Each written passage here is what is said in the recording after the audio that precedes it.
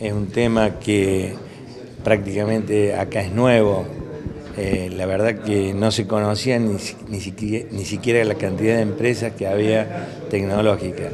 Por eso la iniciativa de los emprendedores tecnológicos creo que fue muy importante. La universidad eh, lo tomó como propio para llevar adelante eh, este proyecto de, trabajar, de armar un clúster informático.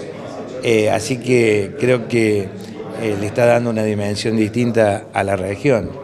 Eh, desde la universidad es muy importante el apoyo porque digamos ahí estaría toda la gran parte de la materia gris que se necesita para llevar adelante todos estos desarrollos que son los de software y programas para que funcionen este, las máquinas, porque por ahí eh, hablamos mucho de TIC y tecnologías y en general el, el común denominador de, nuestros ciudadanos no conoce, ni lo conocíamos nosotros, en cierta forma uno se va interiorizando.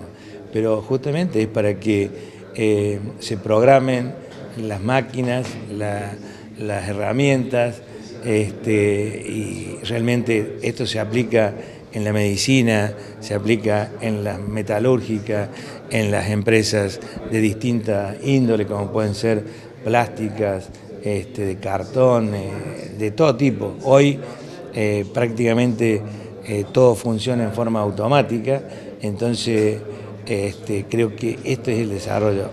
Partir desde Río Cuarto y la región, esto demuestra que nosotros tenemos lo más importante que es la materia gris y, llevar adelante este proyecto para que de aquí en adelante se puedan desarrollar eh, todas estas políticas de, tecnologías innovadoras, que es lo que se viene. O sea, nosotros no, no nos podemos quedar atrás en el tiempo.